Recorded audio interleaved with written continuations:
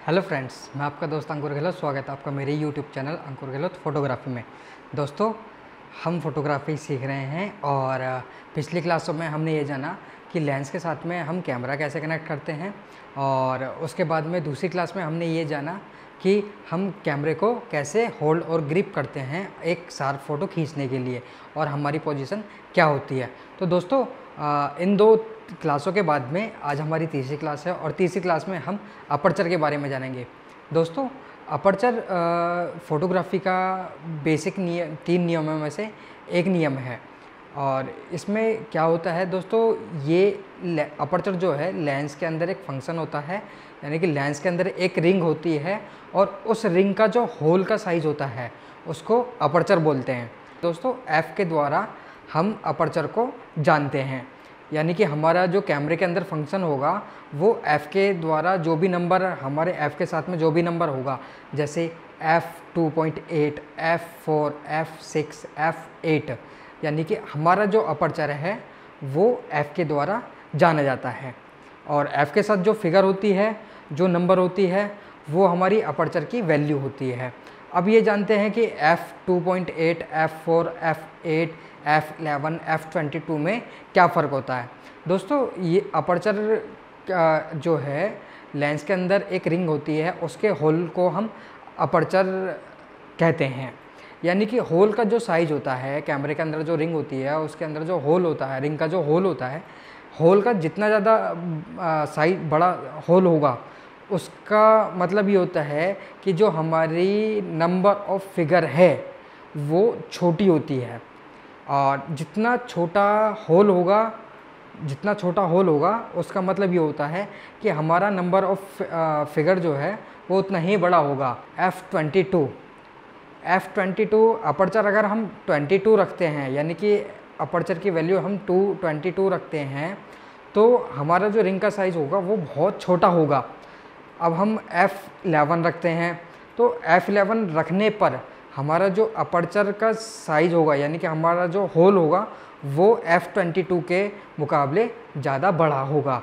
F four F four अगर हम aperture की वैल्यू रखते हैं तो एफ़ ट्वेंटी टू और एफ़ एलेवन के मुकाबले जो हमारा लेंस के अंदर रिंग है, उस रिंग का जो होल का जो साइज़ होगा, वो एफ़ ट्वेंटी टू और एफ़ एलेवन के मुकाबले बहुत ज़्यादा बड़ा होगा। ऐसे ही एफ़ टू पॉइंट एट तो यानी कि हमारे जो होल, रिंग का जो होल है, उस होल जो है, वो और ज़्यादा बड़ा हो गया है। अब इस होल के द्वारा क्या होता है दोस्तों, ये जो होल होता है, लेंस के अंदर जो रिंग होती है, इस रिंग का जो होल होता है, इसके द्वारा हमारे जो कैमरे के अंदर सेंसर पर लाइट जाती है। कैमरे के अंदर जो लाइट जाती है तो हमें कितनी ज़्यादा लाइट अपने सेंसर पे देनी है कितनी ज़्यादा लाइट हमें, कब, क्या सेटिंग के द्वारा हमें लाइट देनी होती है। और दूसरा दोस्तों अपर्चर का जो काम होता है अपर्चर का हमारा ये काम होता है कि जो भी डेप्थ ऑफ़ फ़ील्ड यानी कि जो हमारी फ़ील्ड की गहराई होती है, उस गहराई को भी हम कितना ज़्यादा क्लियर रखते हैं, वो भी हम अपर्चर के द्वारा जान सकते हैं। अपर्चर जिसका छेद जितना छोटा होगा उतनी ही हमारी डेप्थ ऑफ़ फ़ील्ड क्रिएट होगी, यानी कि हमारी जो फ़ील्ड की जो गहराई है, वो ज़्यादा क्लियर आएगी। जितना अपर्चर का वैल्यू कम होगी, यानी कि छेद का जो साइज़ है, वो बड़ा होगा। तो उसमें क्या होता है दोस्तों, हमारी जो डेप्थ ऑफ़ फ़ील्ड है, यानी कि हमारे सब्जेक्ट और सब्जेक्ट के पीछे या आगे का जो फ़ील्ड है, वो इतना ज़्यादा क्लियर नहीं होगा। जैसा कि अभी आपको दिखाई दे रहा होगा कि मेरे पीछे बैकग्राउंड जो है वो आपको ब्लर दिखाई दे रही होगी। मेरा फेस आपको क्लियर दिखाई दे रहा होगा। मेरे शोल्डर भी आपको थोड़ा सा आउट दिखाई दे रहे होंगे। तो यानी कि इस समय जो मैं रिकॉर्डिंग कर रहा हूँ अपने कैमरे की, मेरे कैमरे में मैंने जो अपर्चर की वैल्यू रखी है, वो 1.8 रखी हुई है और मैं 50 एम एम के द्वारा ये वीडियो रिकॉर्ड कर रहा हूँ दोस्तों। तो मैंने क्या काम करा? मैंने अपर्चर की वैल्यू कम रखी यानी कि मैंने अपना जो अपर्चर का जो होल है वो मैंने पूरा खोल दिया। जिसके कारण सिर्फ़ मेरा फेस क्लियर आ रहा है मेरे शोल्डर आउट हो रहे हैं और मेरे जो आ, पीछे वाइट बैकग्राउंड है वो भी आपको थोड़ा सा ब्लरी दिखाई दे रही है। अगर इसी वीडियो को मैं 22 पे या एफ़ लेन पे क्लिक शूट कर रहा होता तो दोस्तों मैं अभी आपको दिखला देता हूँ कि हमने 1.8 पे ये वीडियो क्लिक करी है और हम अपर्चर को बढ़ाते हैं तब क्या इफ़ेक्ट पड़ता है दोस्तों? तो दोस्तों आ, अभी मैंने आपको बताया कि अभी जो मैं वीडियो शूट कर रहा था वो जो मेरे कैमरे की सेटिंग थी अपर्चर मैंने 1.8 रखा हुआ था। और दोस्तों अब जो मैं वीडियो शूट कर रहा हूँ वो वीडियो शूट है एफ़ एट पर यानी कि अब जो मेरी अपर्चर की वैल्यू है वो मैंने आठ रख दी है। तो दोस्तों, अब डेप्थ ऑफ़ फ़ील्ड जो है, वो मेरी और ज़्यादा क्लियर होगी होगी। अभी क्या है कि पिछली जो पहले मेरी सेटिंग थी, जो पहले मैंने अपर्चर रखा हुआ था अपने कैमरे की सेटिंग में तो पहले सिर्फ़ मेरा फेस क्लियर आ रहा था, मेरे शोल्डर थोड़े से आउट थे और बैकग्राउंड भी थोड़ा सा और ब्लर था। अब क्या है कि अब मेरे फेस भी क्लियर हो गया, मेरे शोल्डर भी क्लियर हो गया और दोस्तों देखेगा थोड़ा सा जो है बैकग्राउंड भी वो क्लियर हो गई है। तो इस तरीके से हम अपर्चर को चेंज करते हैं। जितना ज़्यादा नंबर ऑफ़ फिगर होगा, उतना ही ज़्यादा डेप्थ हमारी जो है, वो क्लियर होती चली जाएगी। और जितना छोटा नंबर ऑफ़ फिगर होगा अपर्चर का, उतनी ही डेप्थ ब्लर जो है, जो बैकग्राउंड है या हमारा फोरग्राउंड है, जो डेप्थ है, वो आउट होता चला जाएगा। और जो हमारा सब्जेक्ट है, सिर्फ़ हमारा सब्जेक्ट ही क्लियर आएगा। तो दोस्तों अपर्चर डेप्थ ऑफ़ फ़ील्ड में भी काम आता है। और जो लेंस में हमने कितनी लाइट देनी है, उसका भी काम करता है।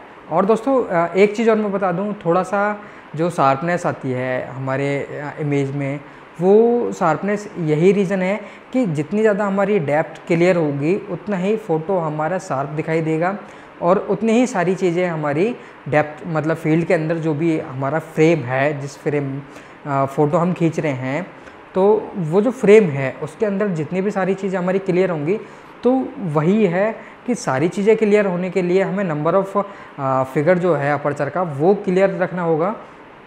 क्लियर से मतलब कि ज़्यादा रखना होगा जिससे कि हमारी सारी चीज़ें क्लियर हो सकें और इमेज हमारी सारी शार्प आ सके। जितना नंबर ऑफ़ फिगर कम होता है तो दोस्तों डेप्थ भी उतनी ही ब्लर हो, होती चली जाएगी।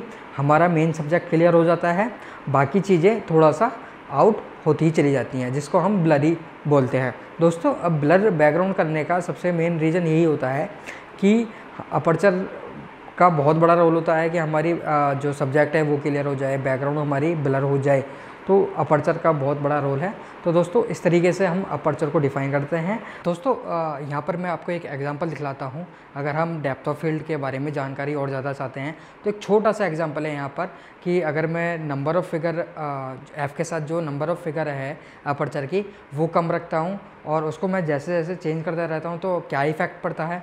वो एक एग्ज़ाम्पल यहाँ पर आप देख लीजिएगा, मैं आपको दिखला देता हूँ। अभी देखिएगा दोस्तों, अभी यहाँ पर क्या दिखाई दे रहा है? यहाँ पर हमें ये दिखाई दे रहा है कि जो हमारा बोतल का ढक्कन है, वो बिल्कुल क्लियर दिखाई दे रहा है। पीछे की जो बैकग्राउंड है, वो ब्लर दिखाई दे रही है। तो यहाँ पर दोस्तों मैं आपको बता दूँ, यहाँ पर अभी फ़िलहाल मैंने जो सेटिंग रखी हुई है, वो सेटिंग रखी हुई है 1.8 एफ़ 1.8 यानी कि जो हमारा अपर्चर है, वो 1.8 रखा हुआ है मैंने। अब मैं इसको धीरे धीरे चेंज कर रहा हूँ और जैसे ही मैं चेंज करता हूँ देखेगा दोस्तों, यहाँ पर मैं चेंज कर रहा हूँ तो यहाँ पर फ़र्क आ रहा है कि धीरे धीरे क्या है कि अब हमारा बोतल के ढक्कन के साथ साथ जो है बैकग्राउंड भी वो क्लियर होता जा रहा है।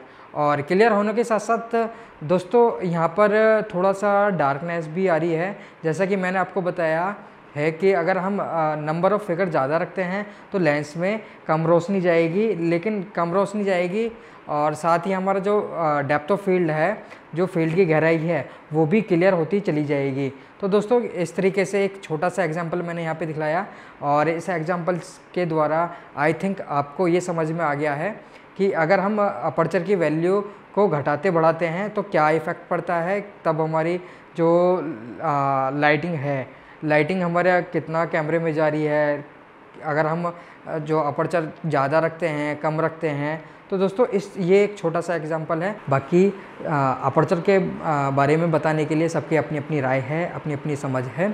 और दोस्तों जितना मुझे पता था, मैंने ये नॉलेज आपके साथ शेयर करी अगर आपको ये वीडियो अच्छी लगी हो तो इस वीडियो को लाइक कीजिएगा शेयर कीजिएगा, मेरे चैनल को सब्सक्राइब कीजिएगा।